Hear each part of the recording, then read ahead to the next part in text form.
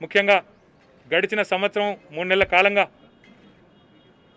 ధైర్యంగా పనిచేస్తూ ప్రజల్లో కూడా విశ్వాసాన్ని నింపుతూ మరి ఎప్పటికప్పుడు ప్రజలకి అండగా ఉంటూ భరోసాగా ఉంటూ ఈ మహమ్మారి నుంచి మనం బయటపడేసే ప్రయత్నం చేస్తున్న వైద్య సిబ్బందికి వారికి సహకరిస్తున్న వైద్య సిబ్బంది అన్నప్పుడు డాక్టర్లు నర్సులు పారామెడికల్ కానీ వారికి ఇంకా అసిస్టెంట్ చే అసిస్ట్ చేసే ఇతర సిబ్బంది శానిటేషన్ సిబ్బందితో సహా వారందరికీ కూడా ప్రభుత్వ తరపున హృదయపూర్వకంగా ధన్యవాదాలు ముఖ్యంగా నేను తెలియజేస్తా ఉన్నాను. ఎందుకంటే వారు ఈ విషయంలో ముందుండి ధైర్యంగా పనిచేయకపోతే ఇందులోంచి బయటపడే సమస్య లేదు.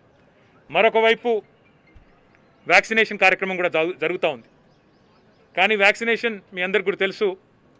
మొన్న కూడా చెప్పాను మళ్ళీ కూడా చెప్తా ఉన్నాను. అల్టిమేట్ పరిష్కారం ఈ సమస్యకి మళ్ళీ మొత్తం దేశాన్ని వ్యాక్సినేట్ చేయడం ఒకటే.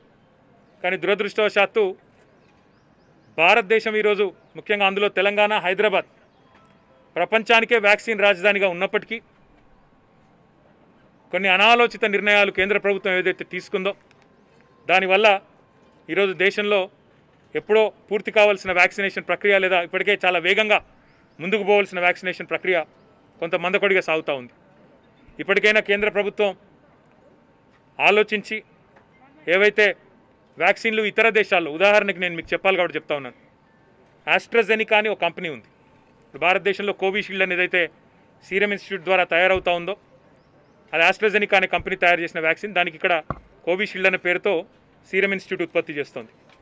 ఈ ఆస్ట్రాజెనికా అనే వ్యాక్సిన్ ఈరోజు నాకున్న సమాచారం మేరకి ప్రపంచంలోని కొన్ని దేశాల్లో వాళ్ళు కొనుక్కున్నప్పటికీ నిరుపయోగంగా దాదాపు యాభై కోట్ల డోసులు ఒక అమెరికాలో ఇరవై ఐదు కోట్ల డోసులు నార్వే డెన్మార్క్ కెనడా లాంటి దేశాల్లో మరొక ఇరవై ఐదు కోట్ల డోసులు. అంటే దాదాపు యాభై కోట్ల డోసులు ఇంకా అక్కడ నిరుపయోగంగా అందుబాటులో ఉంది. భారత ప్రభుత్వం కనుక చొరవ తీసుకొని ఆ డోసులు ఇక్కడ తెప్పిస్తే ఆ వ్యాక్సిన్ ఇక్కడ తెప్పిస్తే మన వాళ్ళని వేగవంతంగా మన భారతదేశాన్ని మన ప్రజల్ని వేగవంతంగా వ్యాక్సిన్ చేసే అవకాశం ఉంటుంది. అనాలోచిత నిర్ణయం నేను ఎందుకన్నానంటే ఊరికే అనలేదు. ఎప్పుడైతే మనం వ్యాక్సిన్ కొనుగోలు చేయాలో ఆ సమయంలో కొనలేదు. కొనకుండా ఇతర దేశాలకు ఎగుమతి చేసినారు ఆనాడు చేయడమే కాకుండా రెండవ తప్పు ఏం చేశారంటే వ్యాక్సిన్ సప్లై లేదని తెలుసు. వ్యాక్సిన్ దేశంలో నూట ముప్పై రెండు కోట్ల మందికి అంటే రెండు డోసుల చొప్పున రెండు వందల అరవై నాలుగు కోట్ల డోసులు కావాలి.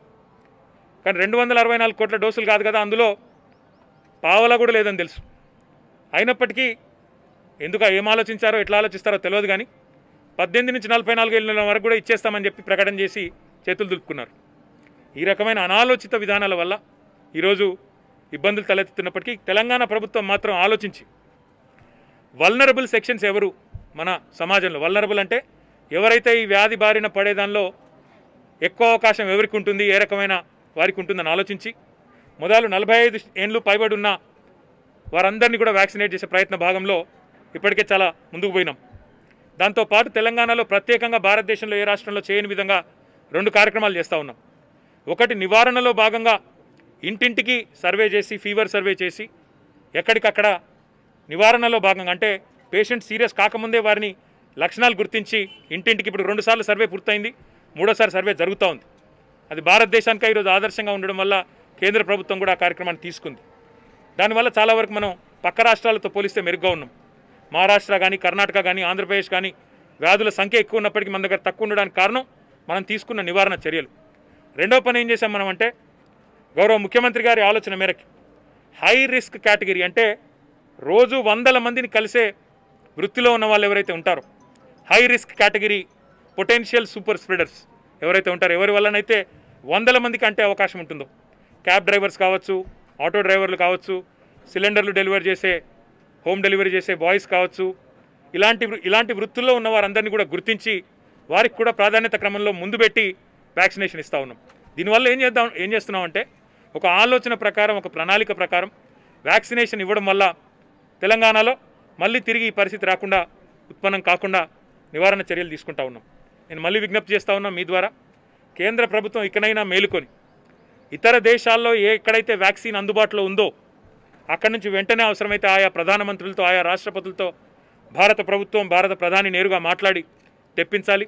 తద్వారా శాశ్వత పరిష్కారం మళ్ళీ భారతదేశ ఆర్థిక వ్యవస్థ కానీ చిన్నాభిన్నం అయిపోయింది ఇప్పటికే. మనం చూసాం మనం జీడిపి కూడా మైనస్ సెవెన్ పాయింట్ త్రీ డెబ్బై మూడేళ్ళలో డెబ్బై నాలుగేళ్ళలో ఎన్నడూ లేనంత అధమ స్థాయికి జీడిపి పడిపోయిన పరిస్థితి. ఇందులోంచి బయటికి రావాలి అంటే vaccination is the only way out so I appeal to government of India to procure vaccine from wherever ever it is in the world ఎందుకంటే మీరు బడ్జెట్లో చెప్పారు ముప్పై ఐదు వేల కోట్ల రూపాయలు వ్యాక్సిన్లకు కేటాయిస్తున్నామని చెప్పారు. మరి ఆ ముప్పై ఐదు వేల కోట్లు మీరు ఖర్చు చేసైనా సరే ప్రపంచంలో ఎక్కడ వ్యాక్సిన్ ఉన్నా తెప్పించండి. మీరు ఇందాక నేను చెప్పినట్టు కొన్ని మార్గాలు అన్వేషించడం లేదు. కేవలం ఇక్కడ భారత్ బయోటెక్ లేదా మన సీరం ఇన్స్టిట్యూట్ మీదనే వాళ్ళ దగ్గర నుంచి ఉన్నదంతా మీకు తెలుసు దాని విధానం కూడా మీకు తెలిసి ఉండొచ్చు తెలియకపోతే చెప్పాలని ఒక నిమిషం. ఎనభై ఐదు శాతం వారి ఉత్పత్తిని తీసేసుకుంటుంది కేంద్ర ప్రభుత్వం. తద్వారా ఏమవుతుంది? ఆ మిగిలిన పదిహేను శాతం ఏదైతే వారు ఉత్పత్తి చేస్తున్నారో అందులో రాష్ట్రాలు ప్రైవేట్ రంగం పోటీ పడతా ఉంది. కానీ రాష్ట్రాలకి తక్కువ ధరకు ఇవ్వాలి ప్రైవేట్ హాస్పిటల్కి అయితే ఎక్కువ ధరకు అమ్ముకోవచ్చు కాబట్టి రాష్ట్రాలకు ఈరోజు కొనుగోలు చేద్దామంటే కూడా వ్యాక్సిన్ దొరకని పరిస్థితి. మేము గ్లోబల్ టెండర్లు పిలిచినా కొన్ని రాష్ట్రాలు ఇంకా తెలంగాణది గ్లోబల్ టెండర్లకి ఈరోజు తెలుస్తుంది ప్రతిస్పందన ఎట్లా ఉందనేది. కొన్ని రాష్ట్రాలు గ్లోబల్ టెండర్లు పిలిచినా స్పందన లేదు. కొన్ని రాష్ట్రాలు ఫైజర్ లాంటి కంపెనీతో మోడర్నా లాంటి కంపెనీతో నేరుగా మాట్లాడితే మేము కేంద్ర ప్రభుత్వంతో మాట్లాడతామని చెప్తున్న పరిస్థితి. కాబట్టి ఇక ఇకనైనా భారత ప్రభుత్వం ఒక యూనిఫైడ్ విధానాన్ని తీసుకొచ్చి యూనివర్సల్ వ్యాక్సినేషన్ కోసం నడుం బిగించాలి. ఈ సంవత్సరమే సాధ్యమైనంత వేగంగా ఇతర దేశాలతో కూడా మాట్లాడి ఎక్కడెక్కడైతే ఇంకా ఆస్ట్రజెనికా కానీ ఇంకో వ్యాక్సిన్ కానీ అందుబాటులో ఉండి నిరుపయోగంగా ఉందో. నేను చెప్తున్న నాలుగు దేశాలు నాకు తెలిసిన దేశాలు. ఎందుకంటే వారితో మేము మాట్లాడాం కాబట్టి ఆ కంపెనీతో మాట్లాడాం కాబట్టి నాకు తెలుసు. అమెరికాలో నార్వేలో డెన్మార్క్లో కెనడాలో ఈ నాలుగు చోట్ల యాభై కోట్ల ఆస్ట్రజెనికా నిరుపయోగంగా ఉంది. కేంద్ర ప్రభుత్వం వెంటనే వారితో మాట్లాడి దాన్ని తెప్పించి రాష్ట్రాలకు వెంటనే ఇచ్చి ఒక యూనివర్సల్ వ్యాక్సినేషన్ విధానాన్ని తీసుకొచ్చి వేగంగా ఈ పరిస్థితి నుంచి బయటపడేయాలని చెప్పి కూడా మీ ద్వారా కోరుతూ హైసియా ద్వారా ఈరోజు ఈ కార్పొరేట్ సోషల్ రెస్పాన్సిబిలిటీలో భాగంగా నూట యాభై పడకలు ఏదైతే టిమ్స్లో ఏర్పాటు చేశారో దానికి వారికి ధన్యవాదాలు తెలియజేస్తూ టీమ్స్లో ఇంకా ఇక్కడ సిబ్బంది ఇంకా డాక్టర్లు కూడా కొన్ని విషయాలు నా దృష్టికి తీసుకొచ్చారు. తప్పకుండా వాటిని కూడా గౌరవ ముఖ్యమంత్రి గారి దృష్టికి తీసుకొని పోయి వారి సమస్యల పరిష్కారానికి కూడా తప్పకుండా ప్రయత్నం చేస్తామని చెప్పి కూడా తెలియజేస్తూ మళ్ళొకసారి ఆలస్యంగా వచ్చినందుకు మీడియా మిత్రులు కూడా మన్నించాలని కోరుతూ త్వరలోనే అందరం కూడా ఇందులోంచి బయటపడాలని చెప్పి కూడా కోరుకుంటూ మీరు కూడా తొందరగా వ్యాక్సినేట్ చేయించుకొని సామాజిక దూరాన్ని పాటిస్తూ ముందుకు పోవాలి జాగ్రత్తగా అని చెప్పి కూడా కోరుతూ ధన్యవాదాలు నమస్కారం.